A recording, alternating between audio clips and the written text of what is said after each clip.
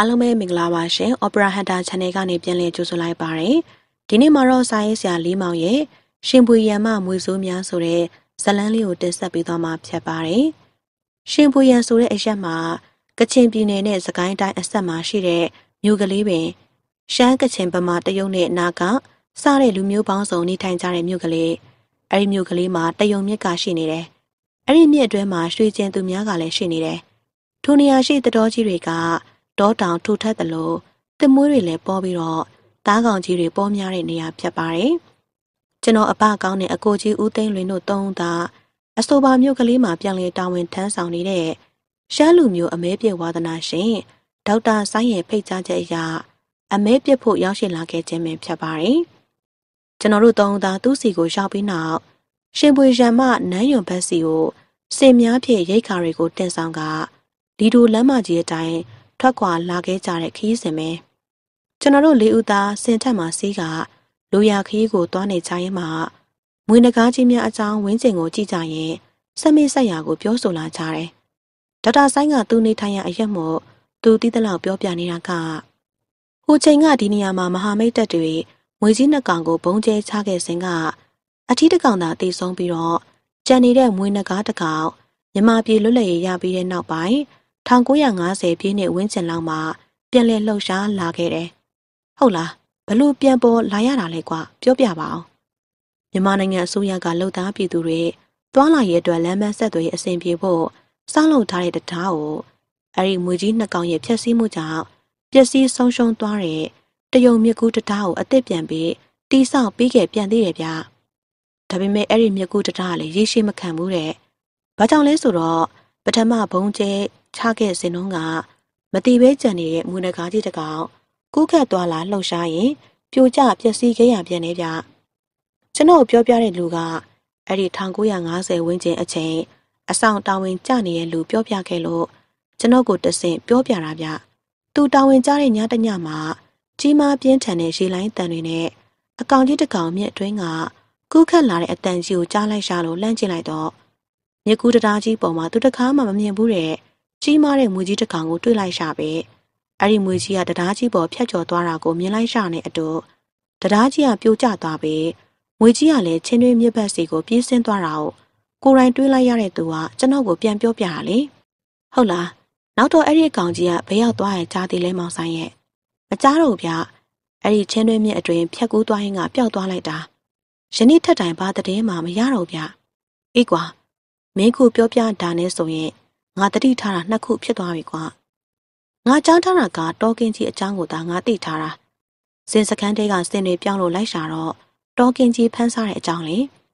စင်ကြီးတွေကိုတော့ဖမ်းစားပြစ်နိုင်တဲ့တောကင်းမျိုးဆိုတော့ဘလောက်များကြီးလိုက်မလဲနော်ဒီလိုအကောင်ကြီးမျိုးတွေရှိအောင်မယ်ကွာတတိထားကြကျွန်တော်တို့စင်တွေကိုစီးကြရင်ဝင်းကျင်တဝိုက်စီကိုအကဲခတ်ကြည့်လိုက်ကြတယ်တောရန်ကြီးအတွင်းပိုင်းစီမို့စင်လန်းကျောင်းကဝင်းကျင်နှက် တတော်ဝါတော်နဲ့ခြုံနေပိတ်ပေါင်းများတို့ကပုံမှုထူထပ်လာတယ်။တောကြီးအတွင်းစီကိုလူသူအယောက်ပေါင်နေပါပြီ။ဘယ်နေရာကိုကြည့်ကြည့်စိမ့်စိမ့်ညွညွမှိုင်းမှိုင်းဝေးဝေးဝဲဝဲများကိုသာတွေ့မြင်နေရတယ်။နေ့လည်ခင်းဖြစ်ပေမဲ့မြုံနှင်းတို့နဲ့အတိနေလုံးနေနေဟာအနောက်ဘက်ကိုကျနေပြီးတော့တောင်မြင့်ကြီးထိပ်ကိုတာဆူနေတယ်။စင်ကြောကုန်းထက်မှလိုက်ပါနေရင်ဝင်းချင်ကိုတတိထားကြည့်လိုက်မိတာကတရိုင်းပင်ကြီးများနဲ့ဝယုံတော်ကြီးများ ခြုံနယ်ပိတ်ပေါင်းများကသာနေရာမလတ်မင်းမူကြီးစိုးနေတဲ့အဲ့ဒီတတော်ကြီးဟာလူများနဲ့အတံမင်စိမ့်တဲ့တောကြီးလို့ပြောရမလောက်အောင်ပဲသူတဘာဝအတိုင်းတောစိန်တောရိုင်းများရဲ့လှုပ်ရှားအသက်ဝင်နေပုံမျိုးနဲ့လေပြင်းကလေးတွေတိုက်လိုက်တဲ့အခါတကိုင်းချင်းပုတ်တိုက်တန်ဝါးပင်နဲ့ဝါရက်တွေပုတ်တိုက်တန်တို့ကတရွှီရွှီတဝီဝီမြည်လိုက်တဲ့အတန်တွေကြောင့်စင်ထက်မှာတနက်ကိုစီကိုင်းရင်စီးနဲ့လိုက်လာခဲ့ကြပေမဲ့ အတော်အတန်ခြောက်ချားလာတယ်လို့ပဲကျင်းငတ်တာရကာတွေမြောက်အုပ်တွေဒေါင်းတော်တန်တွေကသူ့တဘာဝအလျော်အော်မြင်ချရင်အိတ်တန်းများစီကိုဥတီနေကြပဲစင်သွားရလမ်းအတိုင်းစီးနှင်းလိုက်နေကြရင်လမ်းကြောင်းမှာသူ့တဘာဝနဲ့သူဖြစ်ပေါ်နေတဲ့လွင်ပြန်းတို့ပေါ်ရှိမြက်ခင်းစိမ့်စိမ့်တို့အပေါ်မှာယုံကြည်တရေနဲ့တမင်တွေစော်ကစားနေကြရင်မျက်နှာတွေကိုစားတောက်နေတာကိုလှမ်းမြင်တွေ့ရတယ်။အဝေးမှာလှမ်းမြင်နေရတဲ့ အဲ့ဒီမြင်ကွင်းနဲ့ညနေစီးစာအလှတို့ကကြည်နူးဖွယ်ရအတိတ်မြက်ခင်းပြင်အဆက်များမှာကျူရိုင်းပင်တွေနဲ့ကိုင်းပင်ရိုင်းတွေကရှေလျားလွန်းသလိုထီကယုံစုပေါပင်ကြီးတွေကိုလည်းတွေ့နေရတယ်။ကိုင်းပွင့်ဖြူဖြူများတို့ကလေအတိုးမှရိမ့်ထိုးနေပြီးငှက်ကလေးများတို့ကဟီလီခိုကစီးနေကြရင်တီးတီနေကြတယ်။အောင်ဆိုင်မင်းစခန်းချမဲ့နေရာကိုမရောက်သေးဘူးလားကွာ။ဒီကိုင်းတော်ကြီးအလွန်ဟိုမှာလှမ်းမြင်နေရတဲ့တောင်ကြီးရဲ့ကပယံအောက်မှာရောက်ပါတော့မယ်။ တောတောင်ကြီးတို့ရဲ့နေကင်းအလှကိုလိုက်လံကြည့်ရှုရင်းနဲ့ဆက်လက်လာခဲ့ကြရာနိုင်ဝတ်တတလောက်မှာစခန်းချမဲ့နေရာစီကိုရောက်ရှိလာခဲ့ကြတယ်။စင်များကဝစ်ပေးလို့ဆင်းလိုက်ကြပြီးစခန်းချရာတဲပေါ်ကို အထုပ်ပိုးတွေကိုတင်လိုက်ကြပြီးဝင်းချင်အနေထားကိုတဲရှိမှမတ်တက်အနေထားမျိုးရှက်လျက်လိုက်လံအကဲခတ်ကြည့်ရှုနေလိုက်ပါတော့တယ်။ရေမြေအနေထားရတော်၎င်းတဘာဝသီးပင်ပေါက်ပင်များအရတော်၎င်း မြမပြည်တနန်တလျားရှိတတော်ကြီးထဲမှာဒီမဟာမြိုင်တောကြီးကအနက်ဆိုင်ဆုံးသောတောကြီးတစ်ခုဖြစ်တယ်လို့မာယာအကျွဲဆုံးနဲ့တားကောင်ကြီးတွေအပေါ်များဆုံးဖြစ်တဲ့အပြင်ချင်းငယ်တရကများတို့လည်းအပေါ်များဆုံးသောတောကြီးတစ်တော်ဖြစ်တယ်လို့ဆိုရမယ့်စကားကိုလက်ခံရမလို့ပဲတောင်နန်းတောင်တွေတောင်လက်မောင်းကြီးတွေရှုမြောင်ချောက်ကပါကြောက်ထရန်ချုံတွေတော့တတော်ဝါတော်ကြီးတွေတရိုင်းပင်ကြီးတွေလွင်တဲ့ပြက်တွေက ဒီတော်ကြီးရဲ့တိတ်ခါကိုအေးဆေးတည်ငြိမ်စွာဟန်ရင်ပြရင်ကျွန်တော်တို့ကိုကလူတလူမြုပ်နေတယ်လို့ရှိနေတယ်အဖကောင်းတဲ့ဘူးလေသူ့နာမည်ကမန်ဖီတဲ့ကချင်မို့ဆိုကျွန်တော်တပည့်လေသူဒီမှနေတာပြစ်ခတ်ဖို့လည်းသူတောင်းယူမယ်လေလမ်းပြပေါ့သူကမိတ်ဆက်ပေးလိုက်လို့ကျွန်တော်တို့ကိုပြောငါနှုတ်ဆက်ပြနေတဲ့မုတ်ဆိုးမန်ဖီကိုတွေ့လိုက်ရတယ်ကချင်မုတ်ဆိုးပင်အရက်ကခတ်ပုတ်ပုထိတ်ပြောင်ပြောင်နဲ့ကြောမှာတူမီတနက်ကိုလွယ်လျက်သဘောကောင်းမဲ့ပုံပဲ ကျွန်တော်တို့ကရွာခံမုတ်ဆိုးကိုအတိမတ်ပြုတဲ့အနေနဲ့လက်ဆွဲနှုတ်ဆက်လိုက်ကြရင်တဲစီကိုတက်ရောက်ထိုင်လိုက်ကြတယ်စင်သမားတွေရောက်ရှိလာတယ်။ရာသီကအေးမြလာတာနဲ့ကျွန်တော်တို့ကခေါင်းစော့တွေဆွဲတာတွေကိုထုတ်ဝက်လိုက်ကြတော့သူတို့ကပြုံးနေတယ်။အကိုကြီးဦးသိန်းလွင်ကအဆက်ပလင်းကိုရှူကဖွင့်လိုက်တော့မန်ဖီကတောင်းသားရင်ချက်ပြီးသားကိုပကံနဲ့ခတ်ယူလာတယ်။ကျွန်တော်တို့အားလုံးစားတော့ရန်ဒေါင်းသားဟင်းချက်ထားတာကိုလည်းဒေါက်တာဆိုင်ပြောပြလို့သိလိုက်ရှာတယ်။နောက်တစ်ဖန်ပြောတာက မနေ့ကတောကြောင်ချီယာကြီးကြီးကိုတွေ့လို့တွားရောက်ပြီးတော့ထောင်ထားကြောင်းနဲ့မနှက်ပြန်လိုက်ပြီးတော့လေးလာရန်ဖြစ်ပါတယ်။ထို့စဉ်ခေါင်ရည်များချပေးလာတယ်။ကျွန်တော်တို့ကအရက်တွေကိုတောက်ထားကြသူများမို့မတောက်ကြတော့ဘူး။စင်သမားတွေကသူတို့စင်တွေကိုထူးခတ်အစာကျွေးထားပြီးမို့ကျွန်တော်တို့နဲ့ဝိုင်းလိုက်ကြတယ်။စားတောက်နေလိုက်ကြရင်ကျွန်တော်တို့နဲ့တောတောင်နဲ့တားကောင်ချင်းတွေကိုရောက်သွားကြတာမို့ကျွန်တော်ကဘ ഹു တုတအဖြစ်စင်ဦးစီးစောစိန်တန်ကိုစင်အကြောင်းမေးလိုက်မိတယ်။စောစိန်တန် မင်းတို့ကစင်သမားဆိုတော့စင်နေမေးလိုက်ကြတဲ့အကြောင်းနဲ့စင်ဖြူတော်အကြောင်းသိသလောက်ပြောပြပါလားကွာကျွန်တော်ဆယ်နှစ်သားလောက်ကလေးကစင်တွေနဲ့ရံပါခဲ့တာအခုချိန်ထိပါပဲဒီမိကုံးများကိုလူတော်တော်များများကစင်တွေမေးလိုက်တဲ့အကြောင်းကိုစင်သမားတယောက်မို့တင်များသိလေမလားအထင်နဲ့မေးကြတယ်လေတကယ်တော့မသိဘူးလို့ဖြေရမှာပါပဲဒါကြောင့်ကိုထက်တဘာရဲနဲ့စင်သမားကြီးတွေကိုမေးကြည့်တော့လေတိတိပပဘသူမှမဖြေနိုင်ကြဘူးဒါဖြင့် စင်သမားတယောက်အနေနဲ့ပြိဿတွေရှိမရှိဘလို့သိရတယ်လဲဆိုတော့ဇင်ဦးစီးတယောက်အနေနဲ့မိမိစင်ကိုတနေ့ကိုရေနှခါချိုးပြီးတော့ပတ်သက်ပေးရတယ်လေအဲ့ဒီခါမှာဆင်မတွေအနေနဲ့တောထဲမှာမိတ်ဆော့လာခြင်းရှိမရှိကိုအထူးအလေးထားကြည့်ကြရတယ်သူတို့မိတ်ဆော့လာကြတယ်ဆိုရင်လိန်အင်္ဂါနားမှာတုတ်အဆနာကိုတွေ့ကြရတယ်အဲ့ဒါလိုတွေ့ပြီဆိုရင်ဘယ်နေ့ဘယ်ဆင်မမိတ်လိုက်ချောင်းကိုစင်အောင်ကြီးကိုတည်င်းပို့ပြီး သူ့မှတ်တမ်းမှာမှတ်သားကြပြီးတော့စောင့်ကြည့်ရတယ်သူတို့ကိုဝင်ဆောင်တဲ့ကာလက၁၈လအတွင်းဖြစ်တယ်လေ။ဒါဖြင့်မသိဘူးလို့ပဲပြောရမှာပေါ့နော်ဟုတ်ပါတယ်စင်တွေမိတ်ဆော့တဲ့ကိစ္စကိုမသိကြတာများပါတယ်ဒီကိစ္စကိုသူတို့အင်မတန်ရှက်ကြတဲ့အတွက်လူမြင်မခံကြဘူးဒါဆိုရင်စင်ဖြူကိစ္စကိုရောစင်ဖြူကိစ္စကဟိုးပကံခေတ်မှာပြီးရကတ်တော်တွေတည်ယူကလေးကစပြီးနောက်ပင်ရခေတ်ကြပြန်တော့စင်ဖြူရှင်ဘွဲခံကြတာကိုလည်းတွေ့လာရှာပြန်တယ် နောက်ပိုင်းမှာတော့ဒဇီရှင်တီဟသူကစင်ဖြူဘွဲခံလာတာတွေ့ရတယ်နောက်ဥစနာမင်းလက်ထက်မှာပျောက်သွားပြီးဒဇီးရှင်ကျော်စွာရဲ့တာကျော်စွာလက်ထက်ကြတော့မှစင်ဖြူငါးစီးရလို့ငါးစီးရှင်ဆိုပြီးပေါ်လာပြန်တယ်။နောက်ပိုင်းစင်ဖြူရှင်တွေစကိုင်းဘက်မှာမြူတီလာခဲ့ကြပြန်တယ်။စင်ဖြူရှင်အနော်ယထာမင်းရဲ့တရက်ဖြာဒါတွေကအင်းဝမှာပေါ့။အဲဒီတော့စင်ဖြူပွဲခဏတွေပင်းတရစကိုင်းနဲ့အင်းဝအထိအပြင် ဟန်တာဝတီခစ်ကြတော့ဘရင်နောင်စင်ဖြူရှင်ပွဲကိုခံလာတယ်အင်းဝဘက်ကြတော့လေတီဟက်သူကဘွဲခံတယ်။ဘရင်မင်းကောင်ရဲ့သားစင်ဖြူရှင်တီဟက်သူပေါ်လာခဲ့ပြန်တယ်လေ။ကုန်းမောင်ခင်မှာဘူးတော်ဖျားလက်ထက်အမရပူရာရွာကလေးတရွာကစင်ဖြူတော်လေးကိုစော်ဘောတွေကဆက်တယ်မင်းလာကဆက်တယ်။နောက်နိဗ္ဗာန်ဆိုတဲ့ရွာကဆက်တယ်ဆိုတာတွေတော့သိရတယ်ဗျ။ဒါနဲ့တကယ်ရောစင်ဖြူဆိုတာရှိသလား။ရှိတယ်ဗျ။မြကြီးနားတတော်ကျိုးပိုင်းတဲက စင်ဖြူလေးတကောင်မွေးတယ်လို့ကြားတယ်။ကာလကိုတော့မသိတော့ဗျ။စင်ဖြူတော့အစ်စ်လား။ဖြူတယ်လို့ပြောတယ်ဗျ။သူ့ကိုမွေးကနေမှတော်လဲတယ်ငလင်လှုပ်တယ်။နောက်အဲ့ဒီစင်ဖြူတော်လေးဟာစင်ဖြူတော်တကောင်မှရှိရမယ်။ကြံအံလက္ခဏာတွေအကုန်ပြည့်စုံတယ်လို့ပြောတဲ့ကြားဖို့တယ်။စင်သမားစောစိန်တန်းကအစင်မိတ်လိုက်ပုံနဲ့စင်ဖြူတော်ចောင်းကိုသူတိတလောက်ပြောပြနေတာကိုနားထောင်ရလို့အမှန်မင်ကျေးဇူးတင်နေလိုက်မိရင် ညစာကိုစားတော့ကအနားယူလိုက်ကြတယ်။မနက်ခင်းပင်မို့မြောင်းအော်တန်များနဲ့ဒေါင်းတွန်တန်တို့အပြင်ဂျင်းငတ်တရကားနဲ့တောချက်ဖငယ်တို့တွန်တန်တွေကိုကြားနေရတယ်။စောစိန်တန်အပါဝင်စင်သမားများတို့ချက်ပြုတ်ထားကြတဲ့ထမင်းနဲ့ဟင်းကို အစာပြေစားလိုက်ကြပြီးတော့အဖွဲသားများနဲ့တောလည်မထွက်သေးခင်မန်ဖီမနေ့ကကြောင်ထောင်ထားရစီကိုသူနဲ့ကျွန်တော်ထွက်လာခဲ့ကြတယ်။အမှန်တော့တောကြောင်ကိုသူထောင်ထားတာဘလို့ထောင်ကြောင်မျိုးနဲ့ထောင်တာကိုသိလို့တဲ့အတွက် ဘဟုတရအဖြစ်နောက်မှလိုက်ကြည့်ချင်းရတာကျွန်တော်တို့နှစ်ဦးပြန်ရောက်လာမှအားလုံးတောလည်ထွက်ကြရမို့သူတို့ကထမင်းထုတ်တွေကိုထုတ်ရင်းနဲ့စောင့်စားနေတဲ့အချိန်မန်ဖီရဲ့ခွေးကချင်းခွေးကလေးမို့ခပ်ပပူကလေးသူ့အဆိုအရအနက်ခံအလွန်ကောင်းတယ်လို့သိရတယ်။ခွေးကလေးမှကျွန်တော်တို့နဲ့လိုက်ရမအောင်သိနေလို့လားတော့မသိပါဘူး။အမိတနက်နဲ့ပြေးလွှားကပျော်ရွှင်နေပုံရတယ်။ထညက်ခဲတစ်လုံးကိုသူ့သခင်ကပြစ်ကျွေးလိုက်လို့ဒီထဲမှာခုံကကိုက်ဝါနေတယ်။ ပြီးတော့ကျွန်တော်တို့အနီးမှာပြေးထွက်သွားလိုက်ခလလန့်စီရောက်တော့ပြန်ပြေးလာလိုက်သူ့သခင်ကိုဥကောင်းနဲ့တူးဝင်းလိုက်ပြန်ပြေးထွက်သွားလိုက်နဲ့တနီယာစီကိုအရောက်မှာတားကောင်ရဲ့အနံ့ကိုရှာသွားရထင်ပါတယ်။ကျွန်တော်တို့နှစ်ဦးရှိမှပန်းကအရှိတောဘက်စီကိုပြေးတက်သွားတယ်။ခွေးကတနေရာစီအရောက်မှာရက်တန့်လိုက်ဟောင်းလိုက်ပြီးသူ့တခင်စီကိုတားကောင်ကိုတွေ့နေပြီးအမြန်လာရောက်ပါတော့လို့ဆိုတဲ့အတန်မျိုးပေးလိုက်တာမို့ကျွန်တော်တို့နှစ်ဦးပြေးတက်ကလိုက်သွားကြတယ်။ မြင်လိုက်ရတဲ့မြင်ကွင်းကဖြူကြီးတကောင်နဲ့သူ့ရဲ့စူးတောင်ကြီးများပြဲခွေးကိုတခွေးခွေးနဲ့မှန်ပြီးကစူးတောင်များနဲ့လိုက်လံခါလျက်ပြစ်လွတ်နေတယ်။နှစ်ယောက်သားပြေးတက်သွားကကြည့်လိုက်ပေမဲ့ကျွန်တော်ရောက်ရှိနေတဲ့နေရာကဖြူကောင်နဲ့ပူနေတာမို့အသေးချာလှမ်းကြည့်လိုက်တော့ဖြူကောင်ရဲ့အနီးမှာတောငှက်ပြောပင်တော့ရှိနေပြီးမှဲ့နေတဲ့တောငှက်ပြောခိုင်ကိုသူ့ရဲ့စူးတောင်များနဲ့ပြစ်လွတ်ထားလို့အခိုင်မာဖြူစူးများတို့စိုက်ဝင်နေပြီးပြက်လူပြက်ခင်အနေထား အမဲလိုက်ခွေးအပြင်နောက်ထပ်သူ့အနီးကိုရောက်ရှိလာတဲ့ရှန်သူကျွန်တော်ကတနက်နဲ့လှမ်းပြက်မှာကိုတီးလို့ကျုံအော်ဟစ်နေတယ်။သူ့စူးနဲ့ပြက်ခတ်ဖြတ်တောက်တဲ့ငပြောခိုင်အောက်ကိုပြုတ်ကြလင်သူစားတောက်မဲ့အစာကိုကျွန်တော်တို့ကဝင်လူနေတဲ့ထင်းနေသလားတော့မသိဘူး။နှုတ်ကလည်း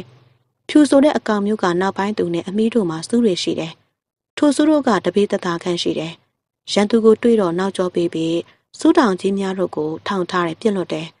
သူတို့စားသောအစာကအတိအရွယ်အသားအကုန်စားတယ်။သူတို့အနှစ်သက်ဆုံးသောအစာမှာပြောင်းမုံလာဦးနဲ့တက်ဦးတက်ဖို့များပဲ။ဒါအပြင်တစ်မြင့်များကိုလည်းစားကြတယ်။တစ်မြင့်တထောင်စားတဲ့ဖြူကဘဝပြောင်းကမြောက်လီပွေဖြစ်တယ်လို့လည်းပြောတန်ကြဘူးတယ်။ထိုအကောင်မျိုးဟာအခြားရိုးမကြီးဘက်မှာနေမထွက်ညပိုင်းသာထွက်ကြတယ်။ဒီတော့ရောက်ပါမှနေပိုင်းတွေ့မြင်နေရခြင်းပဲ။အလွန်မင်းရေကူးကျွမ်းကျင်တဲ့အကောင်များပဲ။သူတို့နေထိုင်ရာတွေဟာ မြေကျင်းတွေဂလိုင်းများမှာနေထိုင်ကြတယ်။တစ်နှစ်ကိုသုံးသားကြတယ်။ငေးစင်ခါများမှာသူတို့စူးတောင်တွေကအလွန်ပြော့ပြောင်းပြီးစေရက်လောက်ကြာတော့မှစူးတွေကမာကြတယ်။အမဲလိုက်ခွေးရလဲပါတယ်။အနောက်ပြေးခလိုက်နောက်ကိုပြန်ဆုပ်ပြေးလာလိုက်နေမို့ဖြူကစူးတောင်များနဲ့ခါလိုက်ပေမဲ့ခွေးကိုမထစ်ဘူးတခွေးခွေးနဲ့အမန်းထနေရမို့ဘေးတိုက်ဖြစ်နေပြီးအနိကခွေကိုရန်လုံနေတဲ့ဖြူကိုလက်မှာကင်ဆောင်ထားတဲ့နှလုံးပြူ21ကြည်တောင်းနဲ့ ပြစ်လွတ်စခန်းသိမ်းပြစ်လိုက်ပါတော့တယ်။ဒီအရက်မှာတွေ့မြင်တဲ့ဖြူကိုကျွန်တော်တခြားတောများမှာမတွေ့မြင်ဘူးခဲ့ဘူး။ကြီးလိုက်သည်ဖြစ်ချင်း90ဝင်အိုးကြီးတစ်လုံးလောက်နီးပါးပင်ဖြစ်နေတာကိုတန်အံတော်တွေ့မြင်လိုက်ရတယ်။ဖြူဆိုတဲ့အကောင်တို့ရဲ့တက်တန်းမှာ10နှစ်မှ28နှစ်အတွင်းရှေ့ကြတယ်လို့ပြောကြတယ်ယခုကျွန်တော်ပြစ်လိုက်တဲ့ဖြူမှာတက်တန်းဘလောက်ရှိသလဲကိုတော့မသိပါဘူးဖြူကောင်ကြီးမှာအသက်ပြောင်းနေပြီမို့ကျွန်တော်တို့နှစ်ယောက်ထိုးနေရာမှာထားခဲ့ပြီး တောကြောင်ထောင်ထားရာစီကိုဆက်လက်ထွက်ခွာလာခဲ့ကြပါတယ်ကျွန်တော်ကတော့ဒီတော့ကိုမရောက်ဘူးလို့ဘယ်လမ်းမှလာနေမှန်းသွားနေမှန်းတော့မသိဘူးတနက်ကိုအရေးရှိကပြက်ခတ်ရန်အသင့်ကန်ဆောင်ရင်သူ့နောက်ကနေလိုက်နေမိတယ်အမဲလိုက်ခွေးကအောင်ပွဲရထားပြီးမို့မြူးမြူးကြွကြွပဲရှောင်းလန်းနေရင်တောကိုတတိပြုကြည့်နေမိလိုက်ပါတယ်တောမှာစောစောကရှောင်းလန်းလာခဲ့တဲ့နေရာကိုအင်းတိုင်းတော့မဆန်တော့ပဲအင်းတိုင်းပင်များတို့အပြင်ဝါပင်များတို့ပါရောလျက် ဖြစ်တော်ပုံစံမျိုးလိုဖြစ်လာတာကိုသတိပြုမိလိုက်တယ်။ဒီကြားတဲ့ခက်ချိုပင်များနဲ့ကျွေးပင်များကိုပါရောနေပြန်တာတွေ့လိုက်ရှာတယ်။နှွေပင်များဖြစ်တဲ့အလိုလေးစူးနယ်ပင်များတို့ကြောင့်နောက်ပြန်ဆွဲထားသလိုဖြစ်နေလို့အတော်လန်းရှင်းနေပါတယ်။ကျွေးပင်ကြီးပင်ပစစ်ပင်တစ်ပင်နဲ့ဝါပေါက်ရောက်နေပြီးဒေါ်တငင်းပင်ကြီးကြီးအနီးချောင်းရုံကလေးအတိုင်းဖြတ်ဆင်းလိုက်ရာချောင်းရုံအနီးမှာထိုးထိုးထောင်ထောင်ပေါက်ရောက်နေတဲ့လက်ယူပင်ငုတ်တူတချို့နဲ့ စုံပတက်ပင်ကြီးအောက်မှာတူထောင်ထားတဲ့ထောင်ချောင်းမှာကြီးမားတဲ့တောကြောင်ကြီးတစ်ကောင်အသေးမိနေတာကိုတွေ့မြင်လိုက်ရတယ်။တောကြောင်ကြီးကိုကြည့်လိုက်တော့မိတန်တူကြောင်ကြီးတစ်ကောင်ဖြတ်ပါတယ်။ပြနှန်းနှန်းနဲ့ကြီးမားလုံးနဲ့ကြောင်ကြီးတစ်ကောင်ပဲ။အပင်အောက်ခြေမှာစုံပရက်သီးမဲ့တွေကအပိုင်းစာများဖြင့်ပြန့်ကျဲနေကြတာမို့လာရောက်စားတော့ရင်ထောင်ချောက်မိသွားတဲ့အတွေ့မျိုးပဲ။သူထောင်တဲ့ထောင်ချောက်ကိုကြည့်လိုက်ရဆယ်ပေကျော်တဲ့တိုင်နှစ်တိုင်မှာနှစ်ပေတသားရှိတသားတမ်းများစိုက်ပြီး အပေါ်နဲ့အောက်ကိုတက်သားညှက်ဆင်ထားတယ်။ထိုညက်ဟာတစ်ဖက်မှာရှိတဲ့တောကြောင်ကြီးအဖို့မြေပြမတစ်ဖက်ထောင်းလျက်ပေါင်လုံးတက်သားပေ20ခန့်ရှိတဲ့တလုံးကြီးအလေးချိန်ကိုအားပြုထားပြီးထိုခလုတ်တံကိုထိနှင်းတိုးတိုက်မိလေတလုံးကြီးပြုတ်ကအဲ့ဒီတလုံးကြီးဖိအားနဲ့လေပင်ကိုညှက်မိနေခြင်းပဲထိုထောင်ကြောင်မျိုးကိုကျွန်တော်တို့ဘက်စီမှာတုံးပြီးလို့ခေါ်ချပြီးတော့ကြီးမားတဲ့တောကြောင်ကြီးများနဲ့ကျစ်တစ်လိုအကောင်ကြီးများအထိထောင်ကြတယ် တောကြောင်ကြီးကိုခြေနဲ့လက်တွေကိုနှွေကျိုးနဲ့တုံနှောင်လိုက်ပြီးဝလုံးနဲ့တက်ရှိုကနှစ်ဦးသားခက်ခက်ခက်ခဲထမ်းလာကြပြီးတော့ဖြူကောင်ကြီးအနီးစီကိုရှောက်တော်ထားခဲ့ကအဘအကောင်းတို့ကိုပြန်ခေါ်ကြသေးတယ်။ထိုနှစ်ကောင်ကိုစကန်းချရာစီကိုတဲဆောင်နေကြရပြီးအသားတွေကိုဖြတ်ကထစ်ခုံလှိဖြတ်နေရလို့မနက်ပိုင်းထွက်မဲ့ခီးပင်မထွက်နိုင်ကြတော့ဘူး။လုပ်ငန်းများပြီးလို့ထမင်းစားတော့နေပင်မွန်းတန်နေပြီ။ကျွန်တော်တို့ဖွဲ့တနက်များကိုယူဆောင်လျက်ဒေါတောင်ချင်းနေနဲ့ တားကောင်ချင်းတွေကိုလိုက်လံကြည့်ရှုရန်ထွက်ခွာလာခဲ့ကြတယ်။စကမ်းမှာစင်သမားများနဲ့တနက်တလက်သာထားခဲ့တယ်။ကျွန်တော်တို့ဖွဲ့ရှောင်းလန်းနေရင်ဝင်းကျင်ချင်းတွေကိုလှမ်းကြည့်လိုက်ရနေမွန်းတိတ်တာဆိုပေမဲ့တွေ့မြင်နေရတဲ့အရာအလုံးနဲ့တောင်နှန်းတောင်သွဲကြီးတွေကမှိုင်းပပြရဲ့ဟိုတောင်ကစကက်ဖြူတောင်ကြီးလေဟိုတောင်ကျတော့ဝါးနေတောင်လို့ခေါ်တယ်ဒီတောင်နဲ့တစ်ဆက်တည်းအဖကောင်းကအမဲကြီးများကိုပြစ်ခတ်ရမှာအားကောင်းလှတဲ့ သုံးခုငါမကနရိုင်ဖယ်ကိုဒင်းအသေးပိုင်းမှာပြောင်းပြန်လှန်ပြီးရှေ့ကရက်ကြည့်လိုက်ရင်လှမ်းပြောနေရကအကောင်ကြီးတွေနဲ့တိုးနိုင်တယ်နော်တတိထားကြအလစ်မပေးနဲ့အကိုကြီးဦးသိန်းလွင်ကင်ဆောင်ထားတဲ့တနက်က73.13 rifle ဖြစ်ပြီးကျွန်တော်နဲ့ဒေါက်တာဆိုင်းတို့ကင်ဆောင်ထားကြတဲ့တနက်ကနှလုံးပြူးနဲ့ရွာကန်မုတ်ဆိုးတို့ကင်ဆောင်ထားတဲ့တနက်တွေကတူမီတနက်များတာမို့ကျွန်တော်တို့နှစ်ဦးကတနက်အတွင်းကြီးကြီးများကိုပြောင်းလိုက်ကြရင် စင်ကြီးရှောတိုင်းကြောက်တုံးကြောက်ခဲတို့ကိုဖျက်တမ်းကြော်ရင်းနဲ့ဝါနီတောင်ကိုလက်ဝဲပမှပန်းပြီးဆင်းလာခဲ့ကြပေမဲ့ဘာတကောင်မှမတွေ့ရသေးပါဘူး။ရှိုးရှိမှာတားကောင်အုပ်ရှိနိုင်တယ်။လူစုခွဲကြမလား။တို့ကလမ်းမမသိတာ။လူစုခွဲတော့ဘလို့ခွဲမလဲ။နေအောင်ဟိုမှာချီယာဝဝိုင်းကြီးတွေကပြောင်းချီယာတွေမို့လား။ရှိုးထဲမှာပြောင်းအုပ်ရောက်နေရသေးကြတယ်ဘလို့လောက်ကြမလဲ။ဘယ်နှကောင်လောက်ရှိနိုင်မလဲ။များမယ်။အကောင်ပေါက်ချီယာတွေလည်းတွေ့နေရတယ်။ ကျွန်တော်တို့ဆင်းလိုက်ရင်အန်တီရဲ့တိတ်များမယ်။အရေးဆိုခမည်းတော်ပြေးတက်ကြမှာမဟုတ်ဘူး။လူအုပ်စုကွဲသွားရင်အခက်တွေ့နေလိမ့်မယ်။တို့အပေါ်စီးကတက်ကြည့်လိုက်မကောင်းလားတိတ်ဝေးနေဘယ်နဲ့လုံးမလဲဒါဆိုအဘကောင်းတို့ကအပေါ်စီးတနေရာကလူစုပြီးတော့စောင့်ကြမန်ဖီနဲ့ကျွန်တော်ကချီယာကောက်ပြီးလိုက်မယ်တွေ့ရင်လည်းပြစ်မယ်သူတို့လက်ပြေးတက်ရင်အဘကောင်းတို့အပေါ်စီးကနေပြစ်ကြပေါ့ဒါဆိုမန်ဖီမင်းတူမီတနက်ငေါ့ပေးငါနှလုံးပြူးတနက်ကိုမင်းယူသွားမှဖြစ်မယ် တားကောင်ကြီးတွေဆိုတော့မင်းတူမီနဲ့တိတ်မကြိုက်ဘူးကျွန်တော်ကကြည်ကပတ်နဲ့တနက်ကိုသူ့ပေးလိုက်ပြီးသူ့တူမီတနက်ကိုရမ်းလွယ်အထဲကိုလွှဲလိုက်ရင်ကညာပြောင်းမှာဘောကြီးမကြီးနဲ့ဘဲပြောင်းမှာ6လုံးကြီးနော်တနက်ချင်းလဲယူလိုက်ပြီးနောက်သူတို့နှစ်ယောက်ပြောင်းအောင်ရှိမဲ့ရှူကြီးအောင်စီကိုဆင်းသွားတာကိုတွေးလိုက်ရှာပါတော့တယ်ယခုမှကျွန်တော်စိတ်တွင်အတိတ်တစ်ခုဝင်လာတာမို့အကိုကြီးဦးသိန်းလွင်ကိုမေးမိတာကအကိုကြီး သူတို့တိတ်ဝေးဝေးကိုလိုက်နေဘယ်လိုလုပ်ကြမလဲသူတို့ရောက်တဲ့ချိန်ထိစောင့်ရမှာပေါ့အချိန်တွေလည်းရှိပါသေးတယ်တနက်ကြီးတွေလည်းရှိနေကြတာပဲစောင့်နေရင်အချိန်ကုန်လို့ညနေဆောင်သွားရင်ရောညနေဆောင်သွားလဲတက်ပင်ကြီးတပင်ပေါ်တက်အိတ်လိုက်ကြတာပေါ့ကွာခတ်တာမှလို့ဒါလောက်အေးဆက်နေရကြီးဘလို့သွားအိမ်မလဲအောက်ကမီးဖိုအိတ်ကြတာပေါ့ကွာပူမနေပါနဲ့ကျွန်တော်အမေကိုအကိုကြီးကနှစ်သိမ့်ပြေးလိုက်တယ်အဘကောင်းတဲ့ရွာကန်တူကဘာမှတော့မပြောဘူး တဘောတူညီနေတာမို့အိတ်ကက်အတွင်းမှာစေးဘောလိတ်ကိုထုတ်ပြီးမိကိုဖွာဆိုင်လိုက်ကပါဇက်အတွင်းမှာမိခိုးများကိုမိုးဖို့ကိုမှုတ်ထုတ်နေလိုက်မိပါတယ်။လီဟာမိခိုးငွေများကိုရှေ့မှအနောက်ကိုတိတ်ဆောင်သွားတယ်။ကျွန်တော်တို့ယခုရှိနေတဲ့နေရာဟာမြောင်အတွင်းရှိပြောင်းအုပ်ရဲ့နောက်ကျောဘက်စီမှုခင်ကျော်အတိုင်းနေရာယူပြီးတော့ရှောင်းလန်းလာကြပါတော့တယ်။ရှိုကြီးအောက်ပိုင်းသူတို့သွားနေရစီမှတားကောင်ကြီးတကောင်ခွာခုတ်လိုက်တဲ့အတန်နဲ့နှာမုတ်တန်ကြီးများကိုကြားလိုက်ရှာပြီး တပြောပြောနဲ့တောတုကပြေးလွှတ်တန်တွေကိုပါကြားလိုက်ရှာလို့ကျွန်တော်တို့လေးဦးသာခင်တန်းဘေးကလျက်အတန်တွေကြားနေရစီကိုလှမ်းကြည့်ကဖြစ်ခဲ့ကြရဲ့အနေထားမျိုးနဲ့အသင့်ဆောင်စားနေလိုက်ကြပြီမဲ့တောတိုတန်ကြီးများတို့ကတဖြည်းဖြည်းဝေးရစီကိုရှောက်သွားလို့မပြစ်ခတ်လိုက်ရတယ်လို့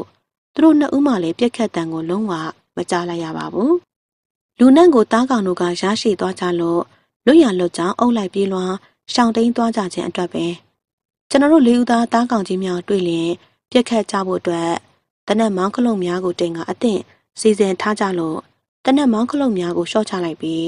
စိတ်ပြက်အားငယ်စွာနဲ့တဦးမျက်နှာတဦးကြည့်လိုက်ကြရင်ကျွန်တော်ကအဖကောင်းတဲ့အကိုကြီးတို့ခမရတို့အိတ်ချင်နေကြသလားဘာကြောင့်လဲကွာအဘတို့သုံးယောက်စလုံးရဲ့မျက်လုံးတွေကရဲနေပြီးတော့ရီဝေနေကြတယ်လို့မျိုးဖြစ်နေတာကိုတွေ့ရလို့မေးကြည့်တာပါအိတ်ချင်တာတော့မဟုတ်ဘူးကွာမျက်လုံးတွေကစောစောကလို့ကြည့်မကောင်း မှုံဝဝနဲ့ဒါနဲ့မင်းမျက်လုံးတွေလည်းหนีရဲပြီးတော့မျက်ခွန်တွေရောင်းနေပါလားကွာဟင်ဟုတ်ရဲ့လားအဘကောင်ကြည်စမ်းမအကိုကြီးရဲ့ဟုတ်တယ်ကွာမင်းလည်းအိတ်ချင်နေနဲ့တူတယ်ကျွန်တော်တို့အေးကြီးတော့မပြတ်ကြပါဘူးခရီးပန်းလာလို့များလားမသိဘူးခရီးပန်းလည်းဒီလိုတော့တခါမှမဖြစ်ဘူးပါဘူးဘာဖြစ်တာပါလဲကျွန်တော်စကားကြောင့်သူတို့တွေ့ဝင်နေကြစဉ်ဝဘိုးဝါများကြီးသာစူပြီးပေါက်နေကြတဲ့ဝယုံတော်ကြီးဘက်ကိုရောက်သွားတယ်တွေးလိုက်ရှာတဲ့မြင်ကွင်းကြောင့် အလိုလိုပါစက်မှအာမေရိတ်တန်ထွက်သွားပြီးဖြစ်ပါတယ်ဟာဟိုမဟိုမသူတို့သုံးနောက်ကျော်ဝယုံတော်ကြီးစီကိုလက်ညှိုးထိုးကအထစ်တစ်အငုံငုံနဲ့ပြောလိုက်မိတဲ့ကျွန်တော်စကားကြောင့်သူတို့သုံးဦးပြိုင်တူပဲလှည့်ကြည့်လိုက်ကြရင်ကဟာကြီးလိုက်တဲ့ငွေကြီးပါလားကျွန်တော်မျက်လုံးတွေကရှီဝေးလာတယ်လို့သူတို့သုံးရဲ့မျက်လုံးတွေကလည်းကျွန်တော်လိုဖြစ်နေကြရင်တူပါတယ်ရင်ကွင်းတွေကဝယုံတော်ကြီးအတွဲမှာထိုးထွက်နေပြီးပပင်းကြီးကိုထောင်းလျက်မျက်လုံးတွေကဝင်းလက်က ဗဇက်ကြီးကိုဖျက်ရထားပြီးတဆွေကြီးတွေဘေးဘက်များစီကိုကားထွက်နေတဲ့အလွန်အမင်းကြောက်စရာကောင်းတဲ့သူ့ရဲ့ရှာမဲမဲကြီးကိုပြုတ်တက်ပြုတ်တက်လှုပ်နေတဲ့ငွေကြီးတစ်ကောင်ကိုတွေ့မြင်လိုက်ကြတဲ့အတူအဘကောင်းကစတင်လေးကျသွားတယ်။အကိုကြီးဦးသိန်းလင်ကလည်းသူ့ရဲ့မျက်လုံးကိုလက်နဲ့အုပ်ရင်းလဲကျသွားသလိုရွာကန်မို့ဆိုးကလည်းသူတို့နှစ်ဦးနီးတူလဲကျသွားတာကိုတန်တောတွေးလိုက်ရှာပြီးသူတို့သုံးအဖြစ်ကိုငုံကြည့်လိုက်စမှာပဲ ကျွန်တော်ပါမြေပြင်ထက်ကိုပြုတ်ကျသွားတာကိုတတိထားမိလိုက်တယ်။ကျွန်တော်လက်တစ်ပြက်စဉ်းစားလိုက်မိတာကကျွန်တော်တို့လေးဦးစလုံးမွေးညှို့ခံလိုက်ရပြီကိုစဉ်းစားလိုက်မိချိန်အနိကတနက်ပြစ်တံကိုကြားလိုက်ရတဲ့အတူအမောင်ထုကဖုံးလွှမ်းသွားပါတော့တယ်။တောချက်ဖငယ်များတော်တန်ကြောင့်ကျွန်တော်တတိရလာတယ်။မိအောင်လက်လက်နဲ့လှမ်းမြင်လိုက်ရတာမို့ဝင်းကျင်ကိုစောင်းခဲ့ကြည့်လိုက်ဒေါ်မီဖို့ကြီးအနီးမှာလူတွေဝိုင်းထိုင်နေတာကိုတွေ့မြင်လိုက်ရလို့လှမ်းမေးလိုက်မိစဉ်ကအဘကောင်းတို့ရော မွေးမျိုးသွားပြီလားယင်ကျွန်တော်အမေကြောင့်ဒေါက်တာဆိုင်ပြန်ပြေးလိုက်တယ်။မမျိုးပါဘူးသူတို့အားလုံးရှိပါတယ်။ဆေးထိုးပေးလိုက်တယ်။တက်တာပြီးတော့ဟိုမှာမီးလုံနေကြရလေ။ဘိုးလေးတတိယလာပြီလား။ဒီ ਉ လာလေထထောင်ထနိုင်ရဲ့လား။ထတော့ထနိုင်တဲ့အဖရဲ့ခေါင်းတော်နည်းနည်းမူးနေတယ်။အားနေလို့ပါခဏမှိတ်နေလိုက်အောင်။ဘလို့ဖြစ်တာလဲ။မွေကြီးရောတက်ပြစ်လိုက်ကြသလား။ပြန်အုပ်ထွက်ပြီးတော့ကျွန်တော်တို့နှစ်ယောက်လည်းဘိုးလေးတို့စီကိုပြန်လာတာ။ လေးယောက်စလုံးမြေပြင်မှာလဲနေပြီးတော့မွေကြီးကမျိုးဖို့အနားကို လာနေတာတွေ့လိုက်ရတော့ကျွန်တော်ကပြစ်တက်မလို့ပဲမန်ဖီးကမတက်ဖို့နဲ့၆လန့်လွတ်ဖို့ပြောတဲ့အတွက်၆လွတ်လို့ပြေးသွားရလေအဲ့ဒီမှာဖြူစုတော့၃ယောက်တတိယလာပြီးဘိုးလေးတယောက်သာကြံနေလို့ဒီကိုအရောက်တယ်လာပြီးတော့ဖြူစုနေရတာပါဒေါက်တာဆိုင်ပြောလိုက်တဲ့စကားကြောင့်ကျွန်တော်မျက်လုံးထဲမှာမွေကြီးကိုပြန်လည်မြင်အောင်လာပြီးချက်သိမ်းများပင်ထသွားတယ်လို့ ခေါင်းမစပယ်မွေးတွေထိုးထိုးထောင်ထောင်ဖြစ်သွားမိတာကအမှန်ပဲမွေကအတော်အကောင်ကြီးတဲ့အကောင်ကြီးကငါတို့လေးယောက်စလုံးတစ်ပြိုင်တည်းရက်ပတ်ဆွဲဆန့်ပြီးမှမျိုးချမဲ့အကောင်မျိုးမဟုတ်ဘူးဒီအတိုင်းမျိုးချနိုင်တဲ့အကောင်မျိုးကြီးကမျိုးလုံးကြီးတွေကဒိုးသီးလုံးလောက်ကြီးပြီးဝင်းလက်နေတယ်ပါဇက်ကြီးကလည်းဖျက်ရထားပြီးတော့အလွန်ကြောက်စရာကောင်းနေကွာမင်းပြောပြတဲ့ချင်းတွင်းမြစ်တွေကကူးသွားပြီးယခုထိအောင်ပြောင်းနေတဲ့မွေကြီးများဖြစ်နေမလားမသိဘူးနော်တော်သေးတာပေါ့ဗျာ တနက်တန်သုံးချက်ပေးပြီးတော့ခြောက်လက်လိုက်တာပြန်ပြေးသွားလို့ကန်ကောင်းကြတယ်မှတ်အစာကိုမှတ်ပြီးပြန်ရန်လုံနေရင်သူ့သေးကိုသေးရင်ဆိုင်ကြမယ်ကိန်းပြအခုလွတ်ပြီးဘဲချိန်ကညှို့နေမှမသိဘူးတော်သေးတာပေါ့ကွာမင်းတို့နှစ်ယောက်လမ်းခွဲထွက်သွားကြပြီးငါတို့စီကိုအချိန်မီပြန်ရောက်လာကြလို့ပေါ့ကွာနမို့ဆိုရင်ငါတို့လေးယောက်လုံးကိုရှစ်ပတ်ဆွဲဆန့်ပြီးမျိုးမာတော့မဟုတ်ဘူးဒီအတိုင်းမျိုးချမယ်အကောင်ကြီးကွာကဲမောင်ဆိုင်ဘလို့လောက်ကြမလဲ ဒီပြောင်းနောက်ကိုဆက်လိုက်ကြမလားဘယ်ဘက်ကိုဥတင်နေတယ်လဲချီယာရီရောကြည့်ခဲ့ရလားချီယာဥတီတာကစကက်ဖြူတောင်ဘက်ကိုလိုက်မယ်ဆိုရင်တော့ရိတ်ခါထည့်ပြီးလိုက်ကြမှရှာမယ်လိုက်ကြမယ်ဆိုရင်တောထဲမှာ၃ညနဲ့၅ညလောက်အိတ်ချင်အိတ်မယ်စဉ်းစားကြည့်လေမန်ဖီးပြောလိုက်တဲ့စကားကြောင့်ကျွန်တော်တို့အတန်ကြာကြာညှိနှိုင်းတိုင်ပင်ကြပြီးဆုံးဖြတ်လိုက်ကြတာကမနေ့ပြန်ရိတ်ခါများယူလျက်ပြောင်းအောင်နောက်ကိုခြေရကောက်လိုက်ကြရန်သာဖြစ်ပါတယ် ကျွန်တော်တို့ငါ့ဥသားရိတ်ခါများနဲ့တနက်တွေကိုလွှဲဖို့ကစင်များနဲ့စကပ်ပြူတောင်ရှိရာကိုအပုတ်ခိုင်းလိုက်ကြပြီးမနက်စာစားကြကစင်ဖွဲ့စခန်းချရာစီကိုပြန်သွားတော့နေမွန်းတယ်နေပြီကျွန်တော်တို့ငါ့ဥသားအထုံများနဲ့တနက်တွေကိုထမ်းပြီးတော့ခြေရကောက်လိုက်ကြရာတနေရာမှာခြေရဝမ်းဝမ်းကြီးတွေကိုတွေးကြလို့ကြည့်လိုက်ရတဲ့အခါမြေပြင်မှာတွေးမြင်လိုက်ရတဲ့ခြေရတွေကကျွန်တော်တို့လိုက်နေတဲ့ပြောင်းခြေရအုပ်များဖြစ်ဖို့အများတယ်။ဘာလို့လဲဆိုတော့အကောင်ငယ်ကလေးတွေရဲ့ခြေရတွေကိုလည်းတွေးမြင်နေရခြင်းကြောင့်ပဲ။ နေကမွန်းတဲ့ပိုင်းဆိုပေမဲ့ဟိုဝေးစီမှာလှမ်းပြီးတော့တွေးမြင်နေရတဲ့တောင်တန်းတောင်တွေကြီးတို့စီမှာမိုးသားတွေကအုံချင်းဖွဲ့နေကြပေမဲ့မြူကိုတို့နဲ့အတိတ်လက်မကန်ဆောင်ထားတဲ့ရွာကန်မုတ်ဆိုမန်ဖီရဲ့တူမီတနက်ကိုအသက်ကန်ဆောင်ထားလိုက်တယ်။ဖြတ်တန်းသွားမယ်ခရီးကရှိုကြီးဟိုဘက်တောအုံများစီမော့မြူနင်းတွေခိုဝဲပြန်လွင့်နေကြလို့မိုးအုံကမှိုင်းနေတယ်လို့အေးဘက်စီကိုလည်းလူနေတယ်။ကောင်းကင်မှာပြန်တန်းနေကြတဲ့ကျင်းငှက်တာရကတွေက အချိန်ကိုမှားတွက်လိုက်မိကြသလားတော့မသိဘူး။သူတို့အုပ်စုနဲ့သူတို့အိတ်တန်းများရှိရာစီကိုတွားနေကြသလား။စားပင်များရှိရာစီကိုတွားနေကြသလားဆိုတာကိုပဲမခံမန်းနိုင်အောင်ပဲတွေ့မြင်နေရတယ်။လူတော်လန်းတစ်လျှောက်မှာရွက်ကြွေတွေကပြန့်ကျဲနေတယ်။လေပြင်းကလေးတွေတိုက်ခတ်လိုက်တိုင်းလေနဲ့အတူဝေးဝေးဝဲလွင်မျိုးနေကြသလိုမြေပြင်ထက်ရှိပလူတွဲများမှပလူကောင်တွေကအုံချင်းဖွဲ့နေပြီးပလူစားငှက်ငယ်ကလေးများကတပြောတပါထိုးထုတ်စားတောင်းနေကြတယ်။ကျွန်တော်တို့ငါးဦးသားဟာ တနက်များကိုအသင်ကိုင်းဆောင်ရင်ရင်ပေါင်တန်းလျက်ခြေရများနှောက်စီကိုလိုက်နေကြစဉ်နှာမုတ်တန်ပြင်းပြင်းကိုအရှုပ်တော်ကြီးနောက်ွယ်မှာအနီးကပ်ကြားလိုက်ရတဲ့နဲ့အတူပြင်းထန်တဲ့ခွာခုတ်တန်ကြီးနဲ့ခြုံတွေတော်ကြီးအတွင်းစီမှာကြီးမားတုတ်ခိုင်တဲ့မမေအကောင်ကြီးတစ်ကောင်ကကျွန်တော်တို့ရှီယာစီကိုဝလုံးထိုးပြေးဝင်လာတာကိုအားလုံးပင်တွေ့လိုက်ကြပေမဲ့မထင်မှတ်တဲ့တိုက်ခိုက်ခြင်းမျိုးကိုခံလိုက်ကြတာမို့ကင်ဆောင်ထားကြတဲ့တနက်များနဲ့ပြစ်ခတ်မနေနိုင်အောင် အသက်ဘေးမို့မြေပြင်ထက်စီကိုလှိပ်ပြန်ရှောင်းတင်းလိုက်မိပါတယ်ထို့စဉ်ဘသူပြစ်ခတ်လိုက်မှမသိဘူးကျွန်တော်တို့ကိုပြေးလွှားရင်းလိုက်လံခွေနေတဲ့ပြောင်ကြီးမှာတုံကနေဘီးကိုရိုင်းနှွဲ့သွားတာနဲ့အတူဒိုင်ယာမသွေးတွေပန်းထွက်လာတယ်မြေပြင်မှာလူးလိမ့်နေတဲ့ကျွန်တော်ကတူမီတနက်ကိုကောက်ယူလိုက်ရင်လူကင်းမဲ့နေရာစီကိုပြေးထွက်လိုက်မိပါတော့တယ်။နောက်ကျောဘက်စီမှာတားကောင်ကြီးရဲ့တပြောပြောနဲ့တားကောင်ကြီးကအညိုတကြီးလိုက်လံခွေခတ်နေလို့ကြောက်အားလက်အားနဲ့ပြေးထွက်လာရတာမို့ ဘယ်နေရာစီကိုဥတီနေမိမှန်းမသိဘူး။သူတို့ထံမှနောက်တစ်ဖန်ပြက်ခတ်တန်တွေကိုလည်းမကြားရသလိုတားကောင်ကြီးတောတိုးတန်ကိုလည်းမကြားတော့လို့ခိတရနာကမောနေတဲ့ကြားမှာဝင်းကျင်ချင်းတွေကိုလှမ်းကြည့်လိုက်တော့စောစောကလှမ်းကြည့်နေလိုက်တဲ့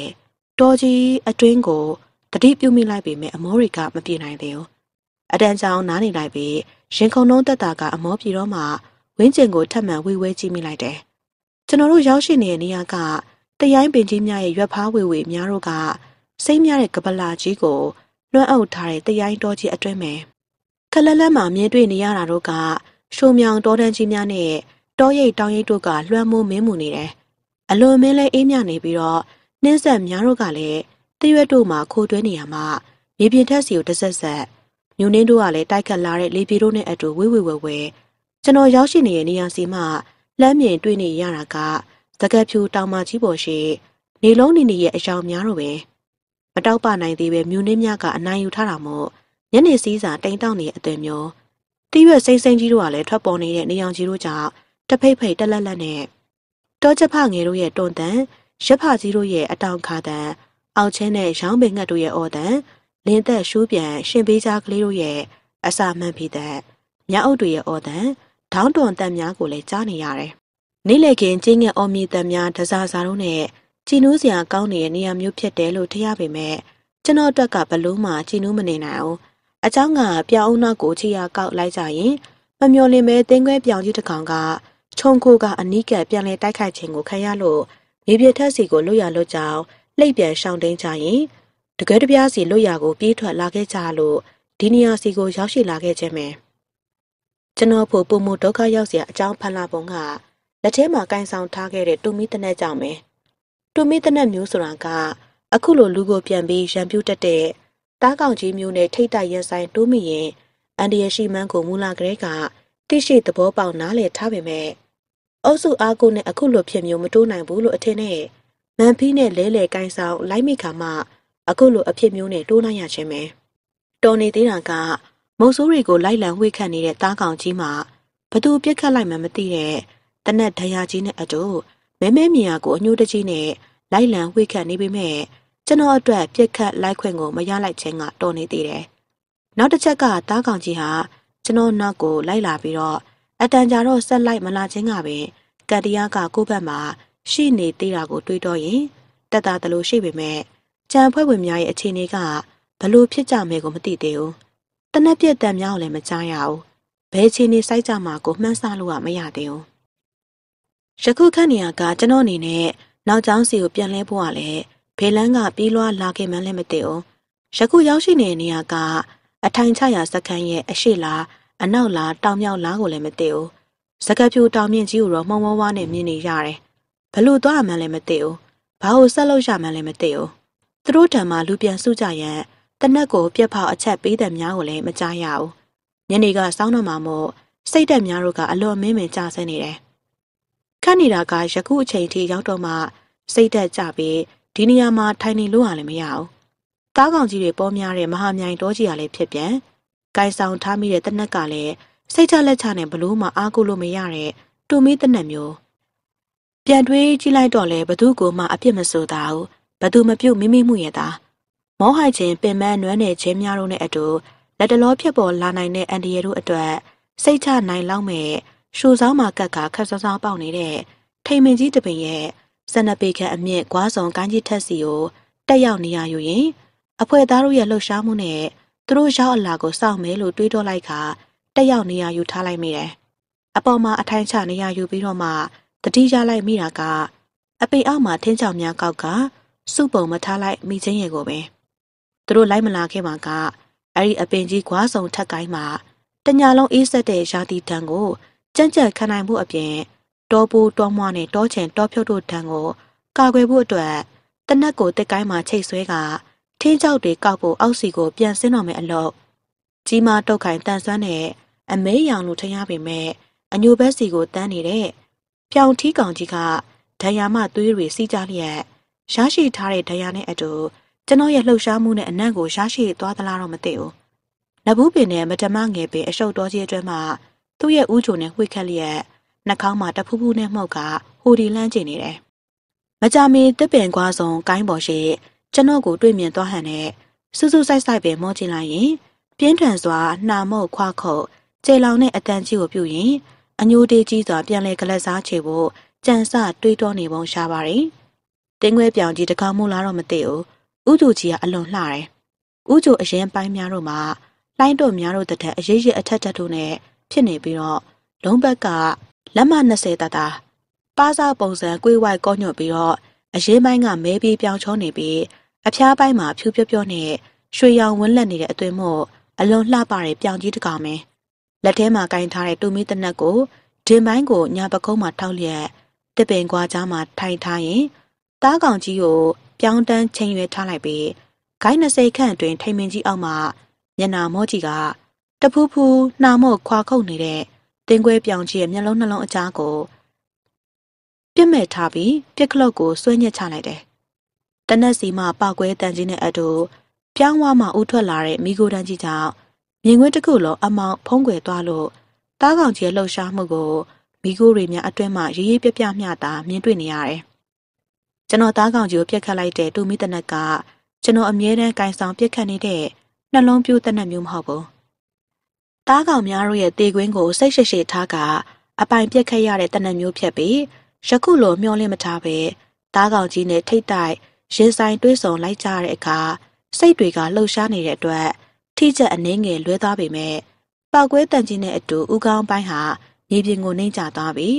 ခေါင်းဆိုင်ကဖေမှုကောင်းထောင်လျက်ပက်ချာလဲနေတာကိုရန်ကိုမြအချားမှာဝူတဝါလှမ်းမြင်တွေ့နေရတယ်။တူတူမီတနက်မျိုးဆိုတာကလည်းတစ်ချက်ပြက်ခတ်လို့ပြီးတိုင်း နောက်တစ်ချက်ကိုဆက်ပြစ်လို့မရဘူးနောက်တစ်ချက်ပြက်ခတ်နိုင်ဖို့အတွက်ရန်ထောင်းရထိတ်ရတခြားဘာရီယာကိစ္စတွေကိုလုပ်နေရတာမို့ဂျားကာလာက9မိနစ်လောက်ကြာတော့ခါမှာထပ်မံပြက်ခတ်လို့ရတဲ့တနက်မျိုးယခုတော့တားကောင်ကြီးမှာမြေပြင်မှာဒူးတော့ခေါင်းဆိုင်ပက်ချလေခန်းရင်းမှာသူ့ရဲ့မိထွက်မတက်ရဲနေတဲ့မျက်လုံးအစုံဖြင့်တပင်ကွာကြားရှိနေကျွန်တော်ကိုအခဲမကြေသောမျက်လုံးများဖြင့်လှမ်းကြည့်လိုက်မြေပြင်စီကိုခေါင်းပြန်ကျသွားလိုက်နဲ့ ခံပြင်းနာကြီးဒေါသတန်ကြီးကိုနှကြောကြေလောင်စွာပြုလိုက်ရင်ကြားနာခဲ့ဖြစ်ပြန်လေကလစားခြေသွားနိုင်ရအတွက်နောက်ဆုံးထွက်သက်ကိုစူးစီးအားယူလိုက်ပြီးတစ်ပင်စီကိုပြေးလွှပတက်ရက်ကခုံပြန်ပြီးတော့ဦးကြိုကြီးနဲ့အစွမ်းကုန်ထိုးချလိုက်စဉ်ဘိုးလေးတတိထအောက်ကိုခုံချလိုက်မြန်မြန်ခုံချလိုက်စင်စစ်ကျွန်ုပ်ရဲ့နားစီအတွင်အဘကောင်းတဲ့ဒေါက်တာဆိုင်တို့ရဲ့အထိတ်တလန့်အော်ဟစ်လှမ်းတတိပေးနေတဲ့အတန်တွေကိုကြားလိုက်ရပြီးနောက်ဆုံးရှိုးကြီးအောက်ကိုထိုးချသွားက မြေပြင်နဲ့ဖုံးကနေနဲ့ပြင်းထန်စွာအဆောက်ခံလိုက်ရတန်ကြီးနဲ့အတူအတိတရားတို့ကလွှင်းစင်ကွဲပြောက်သွားပါတော့တယ်ကျွန်တော်နဲ့သူမရှောင်းလန်းနေတဲ့နေရာကတောကြီးခေါင်ခေါင်အတွင်းမှာပဲကျွန်တော်လက်ကိုခပ်ဖွားဖွားစုပ်ကင်လျက်အတူရှင်တွဲပြီးပျော်ရွှင်ကြည်နူးစွာနဲ့ရှောင်းလန်းနေသူကမိမချောလေးတယောက်အခုလိုတောကြီးမြတ်မဲအတွင်မိမချောလှလှလေးတယောက်နဲ့လက်တွဲကစိတ်လွတ်ကိုလွတ်တူနှစ်ကိုလက်တွဲပြီးရှောင်းလန်းနေကြတဲ့အရာတာကဘာနဲ့မှလဲလို့မရတဲ့အရာတာမျိုးပဲ သူမရဲ့ဥကောင်းထက်စံကေတာတို့မှာပန်းစင်ထားတဲ့ရောင်စုံတက်ခွပန်းတို့ရဲ့ရနံ့ကမှုကြိုင်လွန်လာတယ်။သူမနဲ့ကျွန်တော်လက်တွဲမဖြုတ်စတန်တော်လန်ကလေးအတိုင်းရှောင်းလန်းနေကြရင်မှလှိုင်ကူဘွားကြီးတစ်ခုစီကိုရောက်လာခဲ့ကြတာမို့ဂူကြီးအတွင်းကိုလှမ်းဝင်လိုက်ကြတယ်။ဂူအတွင်းပိုင်းစီကိုရောက်တော့အလင်းရောင်တွေကနေ့လယ်ကောင်လိုပိုရလာပြီးလင်းထိန်ကြည်လက်နေတယ်။ဘယ်နေရာများတို့စီမှာအလင်းရောင်တွေတိုးဝင်လာတာကိုလိုက်လံကြည့်ရှုပေမဲ့မတွေ့ရပါဘူး။ ကြောက်သားတွေစုပုံထားကြတဲ့နေရာစီမှာထွက်ပေါ်လာကြတဲ့အလင်းရောင်များတော့ပဲ။ဂူကြီးအတွဲမိုင်းကြောက်ပလင်ထက်မှာဆန်နေတော်မူတဲ့တင်မြင့်ခွေးကြောက်စင်းတို့မြတ်စွာဘုရားကိုတော်ကြီးကကိန်းဝင်စံပေးနေတာကိုလေကြည်နူးစွာဖူးတွေ့လိုက်ရတယ်။ကိန်းဝင်စံပေးနေတော်မူတဲ့မြတ်စွာဘုရားကြီးကိုတော်မှရောင်ချီတော်တွေလွတ်နေတယ်လို့တပြက်ပြက်တဝန်းဝန်းနဲ့အလွန်မဲအရေးသွေးကောင်းတဲ့ကြောင်းမြတ်တုံးများကိုထုဆက်ထားတဲ့အသွင်လက်ရကလည်းမြောက်တယ်။ ဖျားပုံတော်ရှေ့မှာအုံးရှိသည့်အရွယ်ကြောက်တုံးသုံးတုံးကိုညှညာစွာတင်ထားပြီးထိုကြောက်တုံးများတို့မှာအလင်းတိုင်တစ်ဖွဲရောင်စင်တွေကလင်းလက်နေပြီးကြောက်ပန်းအိုးသုံးလုံးမှာရောင်စုံတက်ခွပန်းတွေကမျိုးစုံတယ်။ကျွန်တော်ဖျားပုံတော်မှာမျက်နှာတော်ကိုအသေးချာကြည့်လိုက်တော့ကျွန်တော်ကိုပြုံးနေတရားမယ်။စောင်းကြောက်ထိုင်ကပစစ်တော်ဥချကြော့မြေလို့တော့သူမကလည်းရှင်တွဲထိုင်လာတာမို့နှစ်ဦးသားဥချကြော့နေလိုက်စဉ်တက်ခွပန်းတွေရနံ့က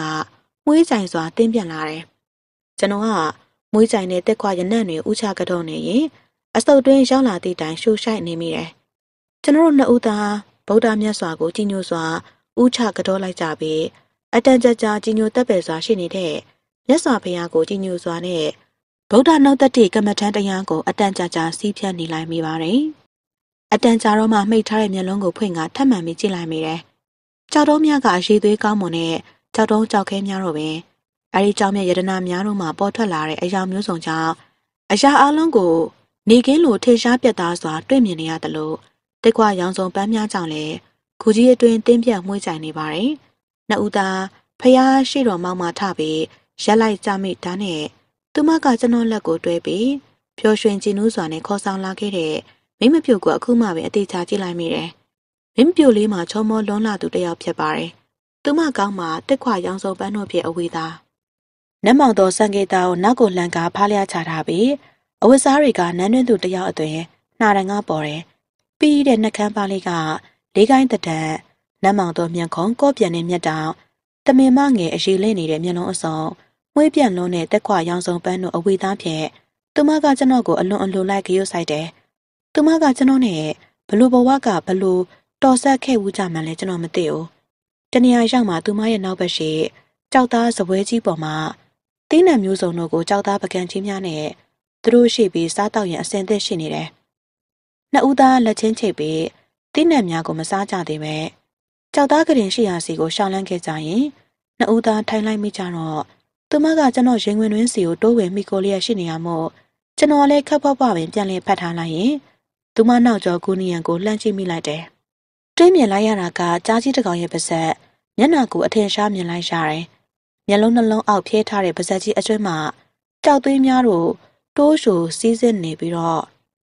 အမုံမအမတ်မဲ့ကြည့်လိုက်ရင်တကယ်သွေးတွေတစ်စက်ဆက်ကြာဆင်းနေတဲ့အသွင်နဲ့မချပါဘူးအမှန်တော့အလွန်ဆေးဘက်ဝင်တဲ့ကြောက်သွေးများတို့စီးစစ်နေခြင်းပဲယခုမြင်တွေ့နေရတဲ့မြင်ကွင်းအရာတန်မိုးမဲ့ပစ္စည်းများလို့အရှံပေအသွင်နဲ့ဂူပေါကြီးအပြင်ဘက်စီကိုစီးစစ်နေတယ်ကျွန်တော်ထိုရာရှိရဲ့နေရာကိုလှမ်းကြည့်လိုက်တာ哦မိမငယ်သိရှိသဘောပေါက်သွားရင်တူပါတယ် ကျွန်တော်သူမကိုခပ်ပပလေးဖတ်ထားရှာမှရုံးထားလိုက်ရင်ကြောက်စပွဲကြီးရှိရာစီကိုတွားလိုက်ပြီးကြောက်ခွက်ကိုယူကသွားဆွဲကြီးများတို့အဖွေးသားနဲ့ကြားပါဆက်အတွင်းမှာတစက်ဆက်ကြာနေတဲ့ကြောက်သွေးကိုခံယူလျက်ကျွန်တော်စီကိုပြန်လာကလှမ်းပေးလိုက်ပြီးပါဇက်ကလည်း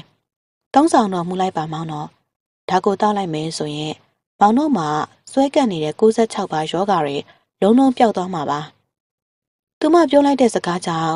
ကျွန်တော်ဘာကူမှမစင်စားဘဲနဲ့ရှူတောက်ပြစ်လိုက်တယ်။ဘာလို့လဲဆိုတော့ကျွန်တော်ကြားဘူးနားဝရှိတာကတောတောင်များတို့အတွင်ကြောက်သွေးဆိုတာကလူတွေအတွက်အရေးပါတဲ့အားစေးတစ်မျိုးဆိုတာကိုကြားမိမှတ်သားထားဖို့ရမဟုတ်ပါလား။ကျွန်တော်ကြောက်သွေးကိုတောက်လိုက်လို့သူမကနှစ်လို့အားရစွာမျက်တောင်ကော်ကြီးများအတွင်းမှာအရေးလဲသောမျက်လုံးအစုံနဲ့ဆူဆူဆိုင်ဆိုင်လိုလိုလလာနှစ်လိုအားရစွာကြည့်လိုက်ရင်မောင်တော်ကြမ်းခန့်တာလို့မှားတယ်နော် နှမတော်ကိုရောမှတ်မိပါသေးရလားယင်မောင်တော်အံ့ဩနေရမို့လားမောင်တော်ကနှမတော်ရဲ့ဟိုသုံးဘဝကခင်မုန်းဟောင်းမှာမောင်တော်ဒီလိုပြောနေပြန်လို့အံ့ဩရသေးတယ်ကြောက်ကရင်ထက်မှာနွဲ့နွဲ့ကလေးနဲ့ကျွန်တော်ကိုမိတွေ့ရင်မခိုးတရုတ်ကြီးကပြောနေလို့နားထောင်ကစဉ်းစားနေလိုက်ပေမဲ့အရာအလုံးကိုပြန်လဲတွေးတော့မရတာကအမှန်သူမကပဲဆက်လက်ပြောနေပြန်တာကမောင်တော်ဒီမဟာမြိုင်တောကြီးကိုတောကစားထွက်မယ်ဆိုတာနှမတော်သိလို့ အခုလိုဒီနေရာကိုလူခွဲခေါ်လိုက်ရတာပဲလေဟိုနေ့ကမောင်တော်နဲ့နောက်လိုက်၃ယောက်ကိုမွေကြီးတကောင်အသွင်ဟန်ဆောင်လိုက်ပြီးအခိုးနဲ့လွှတ်ညွတ်ပြီးတော့တတိပေးခဲ့မိသေးရဲ့လေ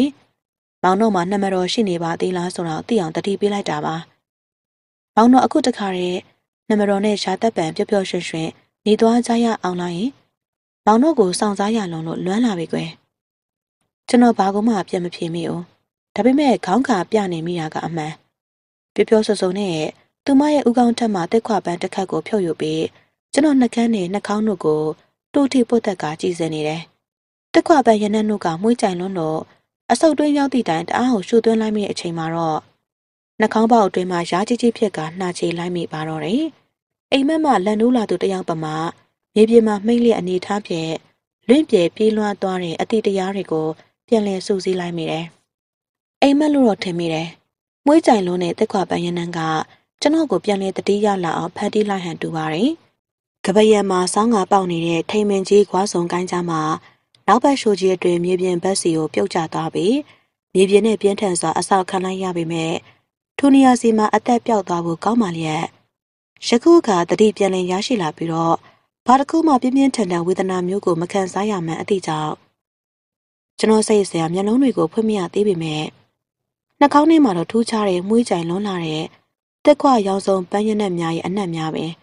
ဒီတက်ခွပန်းရနက်တွေကြောင့်ရှင်တစ်ခုလုံးအေးမြကြိုင်လိုက်သွားပြီးတတိတွေပြန်လည်ရရှိလာသလိုစိတ်တွေကလည်းကြည်လည်လန်းဆန်းလာတယ်လို့ခံစားလိုက်ရတယ်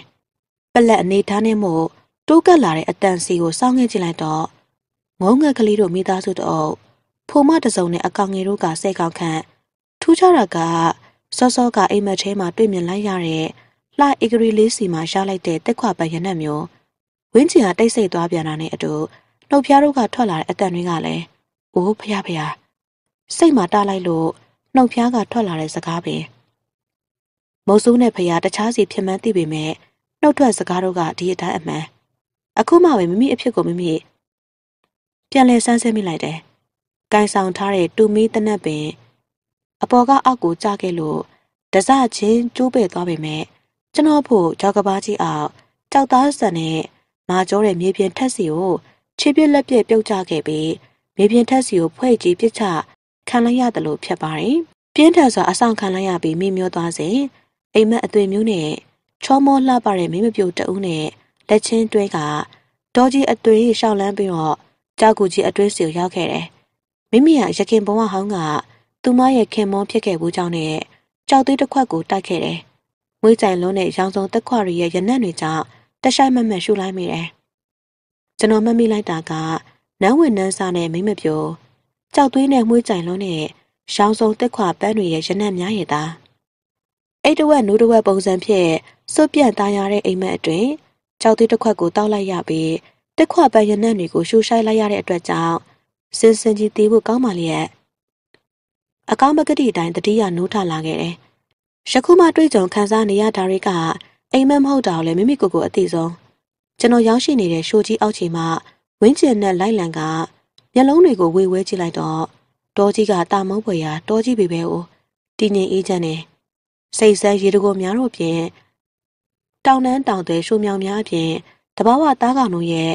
ဟစ်ကြွေးတေးသည့်တန်နဲ့မြမားတဲ့တရိုင်းပင်ကြီးတို့နဲ့နှဆိုင်လွန်းလာတဲ့ခနိုင်ကြီးတစ်ခုအတွင်းပေပဲကို တပန်ထက်မှန်စဉ်းစားတွေးတောလိုက်မိပြန်တော့လေရှိုကြီးအတွင်းစီကိုခြေလွတ်လွတ်ပြုတ်ကြစဉ်ကျွန်တော်မျိုးခေါ်ပြီးတတိပေးတဲ့အဘကောင်းတဲ့ဒေါက်တာဆိုင်တို့ရဲ့အတန်တွေကလည်းဘေးကနေဘလို့ပေါ်လာတယ်လဲဘလို့ပတ်သက်ဆက်နွယ်နေကြတယ်လဲဆိုတဲ့အတွေးများနဲ့အတူဂမ်မီယာဆန်နေတဲ့အဖြစ်ဆိုးတွေကိုလည်းတွေးနေလိုက်မိတယ်ထို့စဉ်ပဲ့တင်တန်ကြီးနဲ့အတူတနက်တန်ပောက်ကွဲတန်ကြီးကကျင်းငက်တန်တစားစားတို့နဲ့ជីနူးရိတ်တန်းနေမိတဲ့ကျွန်တော်ကိုဖောက်ခွဲဖျက်ဆီးလိုက်တယ်လို့ ကျင်းငက်တွေကအထိတ်တလန့်ပြန်တန်းပြေးထွက်သွားကြတာနဲ့အတူကပယံကြီးထက်စီမှာလူဦးလိုက်တဲ့အတန်တွေကိုကြားလိုက်ရတာမို့ပက်လက်လေးလျောင်းနေတဲ့အနေထားမှာကျုံပြီးတော့ထထိုင်လိုက်မိတယ်။ဒေါက်တာဆိုင်ရဲ့အတန်ပဲ။ပြောင်ကြီးကအညိုးကြီးစွာကျွန်တော်တို့အဖွဲ့ကိုလိုက်လံဝိတ်ခတ်ရင်တေးပြေးရှင်ပြေးအသက်လူပြေးကြရင်လူစုကွဲသွားလို့သူတို့တွေလူပြန်စုကြပြီးဒီကနေ့မနေ့ပိုင်းမှာကျွန်တော်လိုက်လံရှာဖွေနေကြတဲ့အနေထားမျိုးမျိုးပြန်လဲပြီးအတန်ပြုတ်လိုက်တယ်။ဟော ရှူအောက်ကအတန်ကြားတယ်ဟဲ့။အဘကောင်းပြောလိုက်တဲ့အတန်မို့အသာဆောင်စားနေစဉ်တပင်ကြီးတပင်မှာနှွေကြိုးချီလျက်ကျိုးစားကိုနောက်ပြန်ကိုင်းကြရင်ဆင်းလာကြတဲ့အဘကအကိုကြီးဦးသိန်းလွင်ဆိုင်းနဲ့မန်ဖီတို့ကိုတွေ့မြင်လိုက်ရတယ်။ဘိုးလေးဘာမှဖြစ်ပါဘူးနော်။ကျွန်တော်တို့ပြောင်ကြီးလိုက်ခတ်လို့ပြေးလာကြတာ။မောင်ကြီးပြိုးတော့မှလူပြန်စုမိကြတယ်။လူစုံတော့မှောင်နေပြီလေ။ဒီဘက်ကတနက်ပြစ်တန်တစ်ချက်ကြားလို့လိုက်မယ်ဆိုတော့လေ